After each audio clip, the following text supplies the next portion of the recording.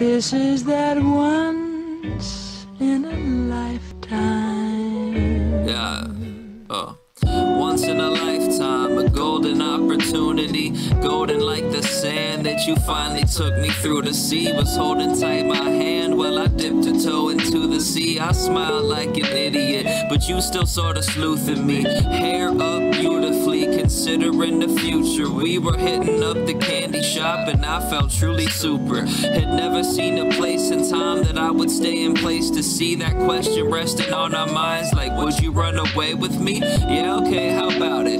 We could start a new life, living beach house days and garden view nights. Made me think back to high school, starting food fights across from all my best friends. Like, y'all are too nice, but now the heart of moonlight hits, and we'll just watch the stars dance. Attempt to mimic them until our little hearts can't take any more of that vacant ancient decor when it breaks, and then we can make for the door and depart fast. Honestly, you look like Mozart sounds. You're a warm embrace compared to the cold, hard ground. The chicken noodle soup when I've been fretting sick in bed. It's like expecting death and restlessness and then catching a kiss instead.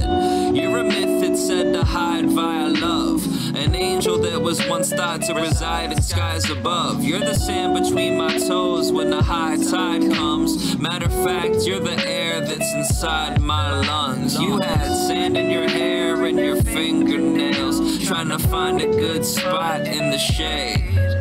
I suggested that we put up all our things for sale. You suggested we just up and run away. I had sweat on my palms and across my face, thinking if we did it,